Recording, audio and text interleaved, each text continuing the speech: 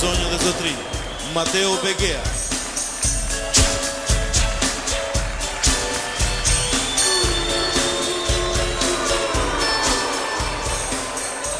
Unë quhem Mateo Begea dhe vij nga Tirana. Unë sot paraqitem para jush para një publiku kaq të mrekullueshëm. Dhe kam bërë shumë gjëra për herë të parë në jetën time. Do ju tregoj disa prej tyre. Unë jam ai riu që pesëmbëdhjetë vjeç ngjiti majën e Mont Blancut, maja më e lartë në Europën Perëndimore. Unë isha ai riu që ngjita gjashtëmbëdhjetë vjeç majën më të lartë në Kilimanxharo, maja më e lartë në Afrikë, dhe shtatëmbëdhjetë vjeç ngjita majën më të lartë në të gjithë Europën, Elbrus. Dhe për njëqindvjetorin e pavarësisë, isha shqiptari më i ri që ngjiti majën e Everestit, maja më e lartë në botë. Kjo është për mua një rast që nuk duhet humbur, se familja ime për atë vendosi se unë isha i çmendur për atë iniciativë. Këtë qershor do të jetë një tjetër herë e parë për mua. Unë do të votoj. Dua të them të drejtën. Do ishte çmenduri të mos votoja. Unë fillova të ngjis malet prej babait tim. Dhe duke parë të tjerët që po bënin këtë gjë thashë me vete, pse jo. Tani unë kam shansun për të votuar. Po më lejoni t'u them pse. Përse unë mendoj se nëse të jepet mundësia midis të votuarit dhe jo, unë dua të mendoj se duhet të votosh si çdo njeri tjetër. Si çdo njeri që duhet të shprehë vullnetin e tij. Nëse ke një opinion, duhet ta shprehësh atë. Dhe unë do të votoj sepse zgjedhjet janë të rëndësishme për të ardhmen. Unë kam diçka për të thënë dhe unë dua që zërin tim të dëgjohet.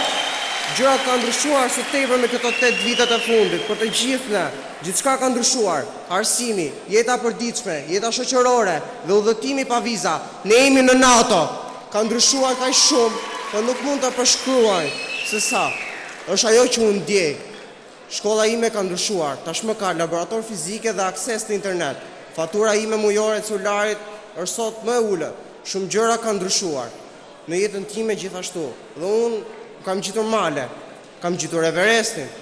Kam mbaruar maturën. Tashmë unë ndodhem në Universitetin e Tiranës për degën Inxhinieri. Unë dua të aplikoj vitin tjetër për të vazhduar studimet e mia jashtë vendit dhe tashmë është më e lehtë sepse nuk kam nevojë për vizë. Unë jam i përqendruar tek e ardhmja dhe unë besoj se vërtet rezultati i këtyre zgjedhjeve do të përcaktojnë nëse do të rrimë në vendnumëro apo do të vazhdojmë përpara.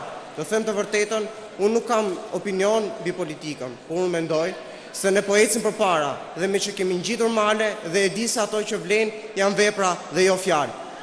Dhe duke parë tetë vitet e fundit, unë ndjej se Partia Demokratike është e është është e fokusuar në vepra dhe jo fjalë dhe Të gjithë këtë e ndjejmë impaktin. Unë jam krenar që jam shqiptar. Unë vendosa të ngjis qind vjetorin Everestin për qindvjetorin e pavarësisë. Dhe unë e di se vendi ynë dhe çdo njeri tjetër që jeton këtu e nuk e ka mbaruar akoma ngji, ngjitjen e tij. Kjo është edhe arsyeja përse unë do të votoj. Përse unë do të votoj Partinë Demokratike. Kjo është arsye përse dhe miqtë e mi i inkurajoj që të votojnë Partinë Demokratike. Po kështu edhe familjarët dhe të afërmit e mi. Në fakt, kjo është arsye përse ju ftoj dhe ju që të votoni Partinë Demokratike. Ju faleminderit.